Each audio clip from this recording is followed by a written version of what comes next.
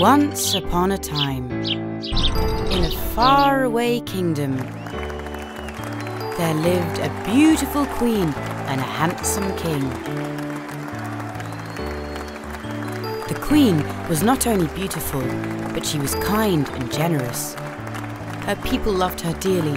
She always helped people and wanted her country to always be in abundance. The queen always longed to have a daughter. One day, as she sat embroidering by the window, she daydreamed of her future daughter.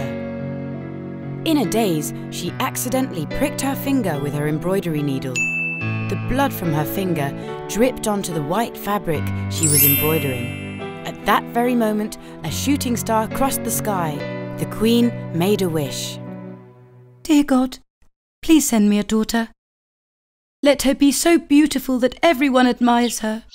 Let her have pink cheeks, black hair like mine, her lips as red as this drop of blood, her eyes as bright as diamonds, and her skin as white as this very cloth. She should always smell like the flowers in my garden. Let her teeth be as white as the pearls on my neck. A short time after that, her wish came true, and she shared the good news with the king and announced that they were expecting a baby. My queen, wish what you will from me. I'll get you the most wonderful gift. My health is not as good as it used to be. What I ask of you is to protect our child from all evil. Please promise me that you'll protect her. There's nothing more I wish for. When the time came, the queen gave birth to a very beautiful girl. Just as she had wished for, her daughter had black hair, red lips, bright eyes, skin as white as snow, and smelled like flowers. They named her Snow White because of the whiteness of her skin. Soon after, the queen's health deteriorated and she passed away. The young king was very sad.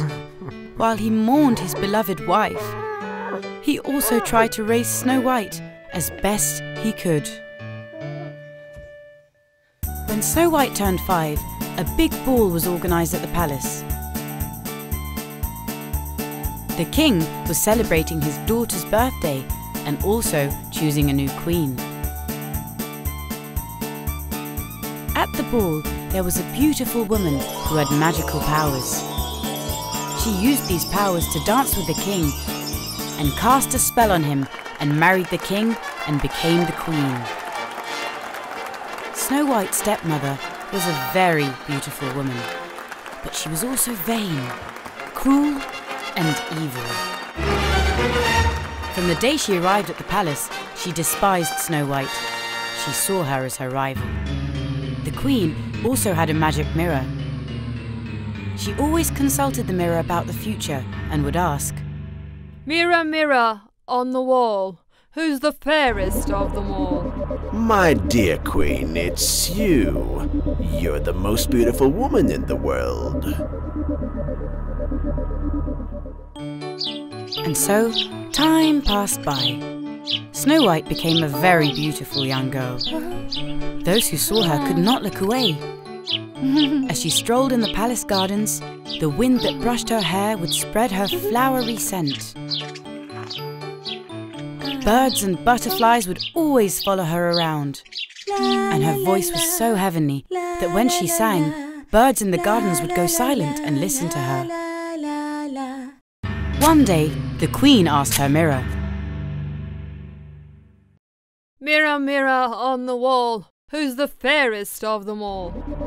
My queen, you are very beautiful, but the most beautiful girl is Snow White. The jealous and cruel queen got so angry that she held the bottle in her hand at the magical mirror.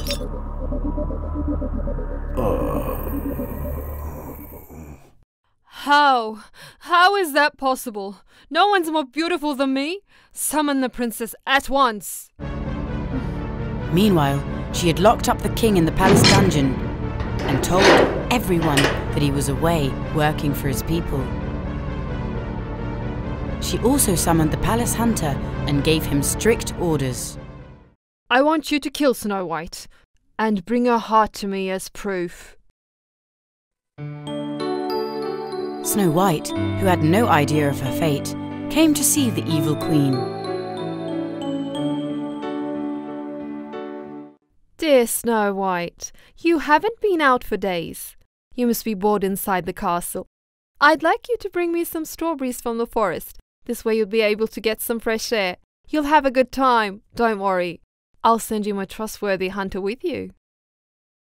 As the princess picked strawberries with the hunter, they got deep into the forest. The poor hunter was very sad. How can I harm someone with such a good heart and such beauty? There must be another way. The hunter couldn't bring himself to kill her. They sat under a tree and he told her about the queen's evil plan. My princess, please go far away. If the queen finds out what I've done, she will kill both of us. He immediately hunted an animal and brought its heart to the queen.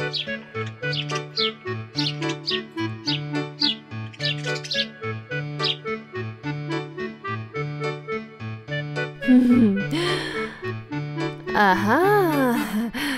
Hmm. The princess spent the night under that tree. She was so scared. At dawn, she went on her journey.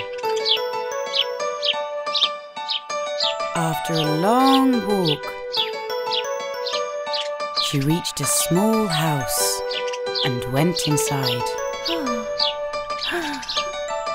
She looked around in amazement. What is this place? Everything is so small and there's seven of everything. Seven small chairs, seven pairs of forks and spoons. Since she was so hungry, she made soup with the ingredients she found in the house. She ate and went upstairs. Hmm. And then she fell asleep in one of the small beds. At night, the house owners returning from the mine were actually the seven dwarves. Their names were Doc, Dopey, Happy, Grumpy, Sneezy, Bashful, and Sleepy.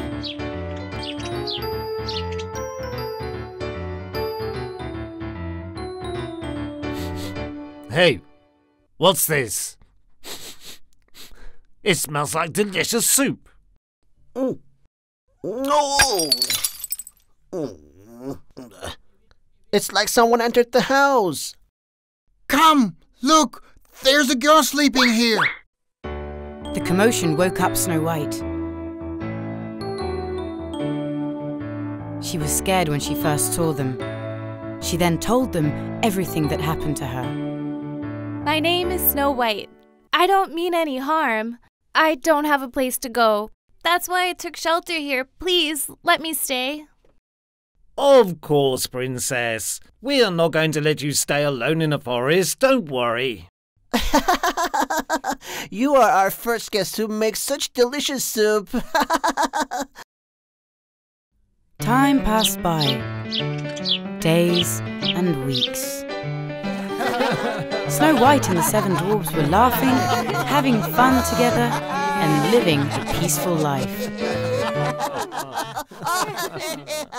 Meanwhile, the evil queen, not knowing that Snow White was still alive, asked the mirror again. Mirror, mirror on the wall, who's the fairest of them all? My queen, you're beautiful, but Snow White, who lives with the seven dwarfs, is more beautiful. ah! How's this possible? The hunter must have lied to me. First, I will get rid of Snow White, and then I will teach the hunter a lesson. She immediately worked on an evil plan. She poisoned an apple and disguised herself as an old woman to trick Snow White.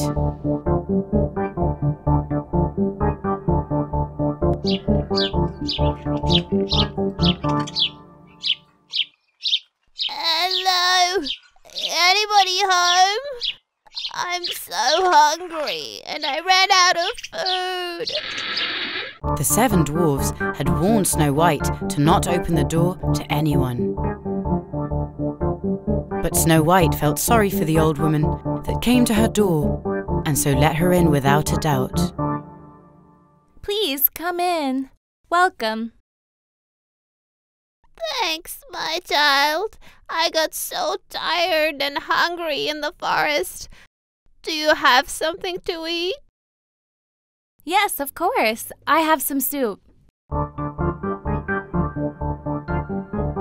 After finishing her soup, the evil queen, disguised as the old woman, offered the poisoned apple to Snow White. The princess took a bite and fell on the floor, Huh? falling asleep. Hmm.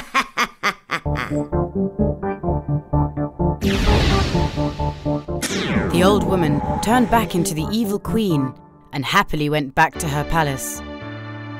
When the seven dwarfs who came back from the mine in the evening saw her laying on the floor, they thought that she had died and so were very sad. We should make her eternal sleep comfortable. Let's make a nice bed for her.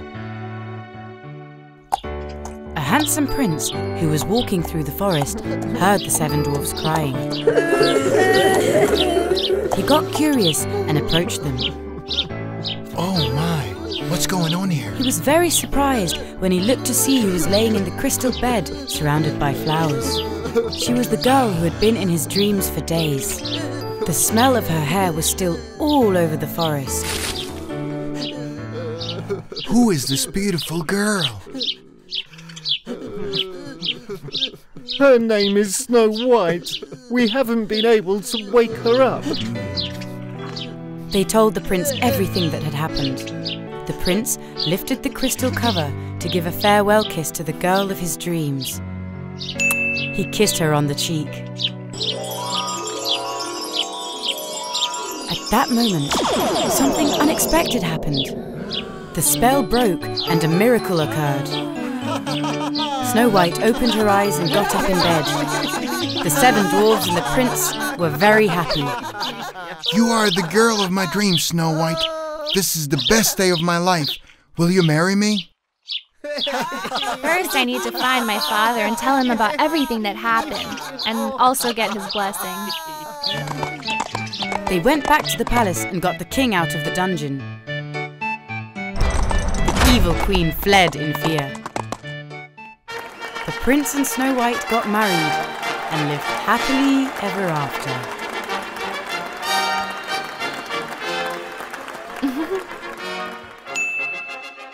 Hey guys! Subscribe to our channel Kondosan and watch the most popular fairy tales, cartoons, and nursery rhymes. Don't forget to click the bell for notifications.